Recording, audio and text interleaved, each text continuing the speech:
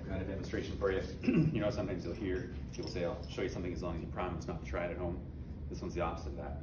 I'm gonna show you, but you're really gonna need to try it at home. So promise to try it at home, please. Um, if you have a metal coat hanger kicking around, that'll work. Or I'm sure, sure everybody has spoons and knives and forks at home and uh, you know, whatever you've got. So you can do it with a spoon. Um, it all works. Um, but what you need to do is you need to just get some string and just tie it so you have two ends like that.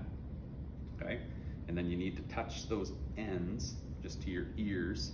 I usually just sort of plug my ear with the little earlobe thing for me. Just sort of stick them at your ears so that so that the string is pushing there. And then you have to just sort of hit the hit the coat hanger against something so that it vibrates. Someone could hit it for you with a stick or whatever, but you're doing that and then you're listening for what you hear. Um, obviously, you can't hear it right now in the video, but you need to try this at home, okay? This is, it's quite crazy what it sounds like, and there's a question in your assignment saying for you to describe what it sounds like. So even if you just do a spoon, okay, you're gonna be able to describe what that sounds like. In class, I do all sorts of things. I have a spring, see what that sounds like. So, and so on. Okay? Um, very cool.